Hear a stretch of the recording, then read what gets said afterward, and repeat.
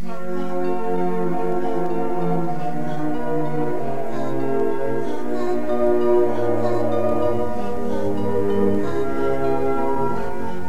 quinto planeta era muy extraño. Era el más pequeño de todos. Había apenas lugar para alojar a un farol y un farolero. El principito no lograba explicarse para qué podían servir en algún lugar del cielo, en un planeta sin casa ni población, un farol y un farolero. Sin embargo, se dijo a sí mismo, tal vez este hombre es absurdo. Sin embargo, es menos absurdo que el rey que el vanidoso, que el hombre de negocios y que el bebedor. Por lo menos su trabajo tiene sentido. Cuando enciende el farol es como si hicieran hacer una estrella más o una flor. Cuando apaga el farol hace dormir a la flor o a la estrella. Es una ocupación muy linda. Es verdaderamente útil porque es linda.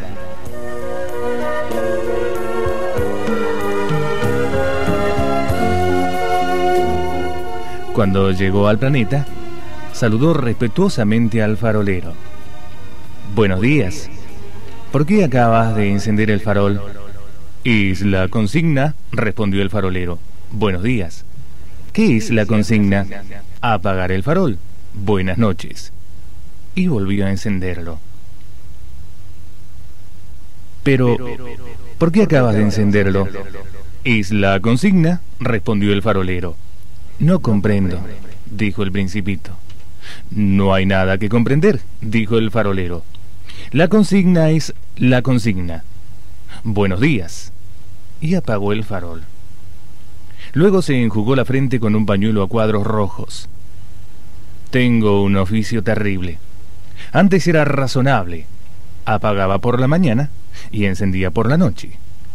Tenía el resto del día para descansar y el resto de la noche para dormir. Y después de esa época, ¿la consigna cambió? La consigna no ha cambiado, dijo el farolero. Ahí está el drama. De año en año el planeta gira más rápido y la consigna no ha cambiado. Entonces, dijo el principito, entonces, ahora que da una vuelta por minuto no tengo un segundo de descanso. Enciendo y apago una vez por minuto. Qué raro. En tu planeta los días duran un minuto. No es raro en absoluto, dijo el farolero. Hace ya un mes que estábamos hablando juntos. ¿Un mes? Sí, treinta minutos, treinta días. Buenas noches. Y volvió a encender el farol.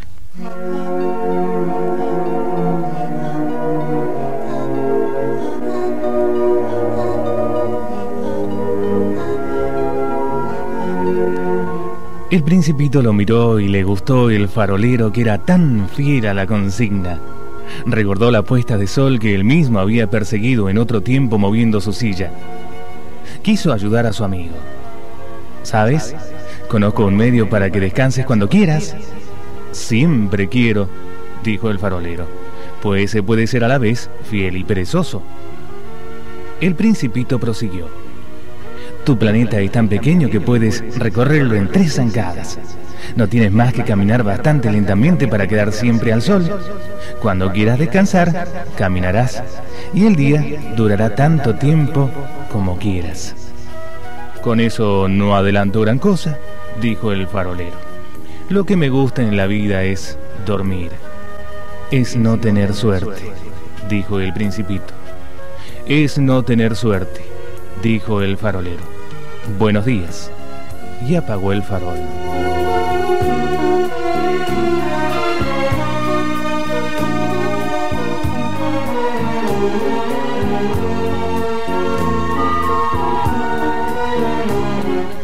Este, dijo el principito mientras proseguía su viaje hacia más lejos, este sería despreciado por todos los otros, por el rey, por el vanidoso, por el bebedor por el hombre de negocios.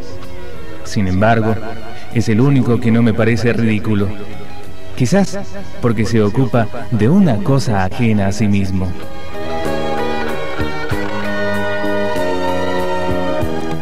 Suspiró nostálgico y se dijo aún, este Es el único de quien pude haberme hecho amigo.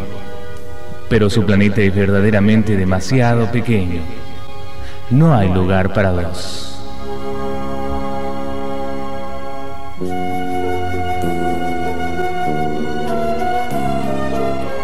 El principito no osaba confesarse que añoraba a este bendito planeta, sobre todo por las 1400 puestas de sol cada 24 horas.